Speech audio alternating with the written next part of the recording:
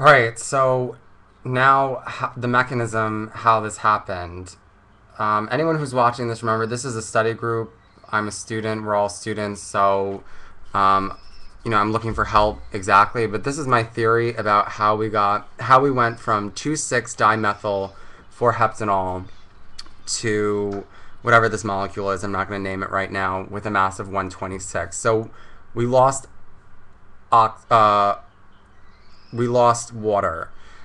You look up here and there's only there's one hydrogen and one oxygen. So we need to lose this molecule and then one H. So here is what I think. Either from here, this bond right here, two electrons, okay? So a double barbed arrow. Again, even if you can't see this, I'm going to scan it and I'm going to put it up in the Group uh, photo album. And you should be able to see it from there. So two of these went up here, and this this broke off and became a positive hydroxyl, right? I mean a, a neutral hydroxyl ion. So this broke away and came over here, and it, it became an OH. And then what I'm assuming happened is that after it did that, this became positive right here. This carbon right here became positive. And then this hydroxyl group came over here and plucked off one of these hydrogens. Okay? Plucked off one of these hydrogens, and then this hydrogen gave its electron over here to its electron to get rid of that um, positive charge, and that's how we got this molecule right here.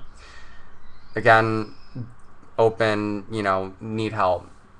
Now, with this one, so how did we get this one? With this one, so that was the that was the first mechanism.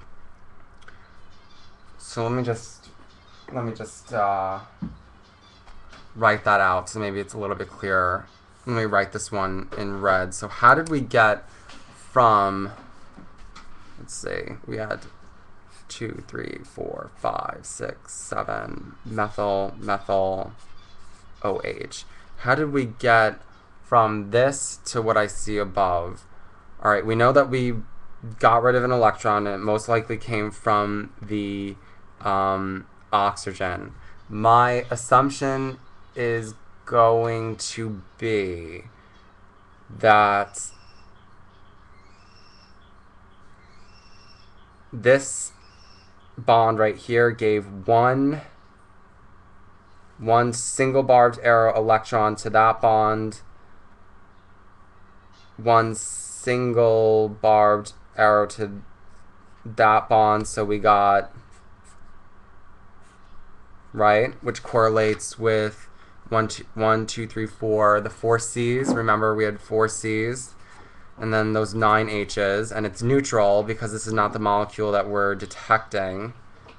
Um, it's this isn't the molecule we're detecting. The molecule we're detecting has a mass of 87, which is this molecule with the positive charge. So then I would assume I would assume that I'm sorry if you didn't see all that. Um, I'll try to make it better. This is the first time I'm making these videos, so I'm gonna try to like keep making them better. And right, so that went up there. So we got this, and then this just donated. It gave whatever was given to this bond, it gave up here to kind of quelch the oxygen, and then that's how we got.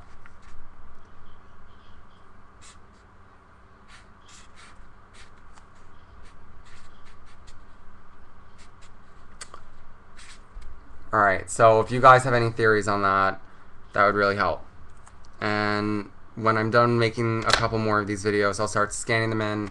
And uh, hopefully other people on YouTube will be able to um, at least access the information on the page. I've, it's a public Facebook page, but um, we'll add you like if you're a John Jay student. So you can use it later on next year. Hopefully it'll be around. Alright, so thanks, and I'm going to keep it up.